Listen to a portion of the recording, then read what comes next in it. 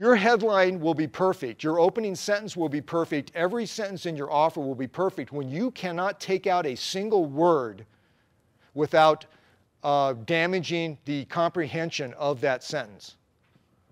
So if you are in there and you see a word in there, and I don't care whether it's a verb, a noun, or, or whatever, there's a lot of mumbling going on in, in a lot of writing. Right? mumbling takes people back to that passive state we have words like power words, like good verbs. That is our tool to bring the, the reader out of that passive state into a semi active state because you want him agitated.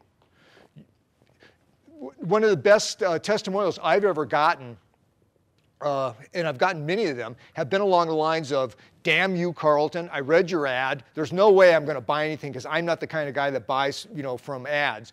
But then I woke up at 3 in the morning, couldn't get back to sleep, so I picked up the phone and called and ordered.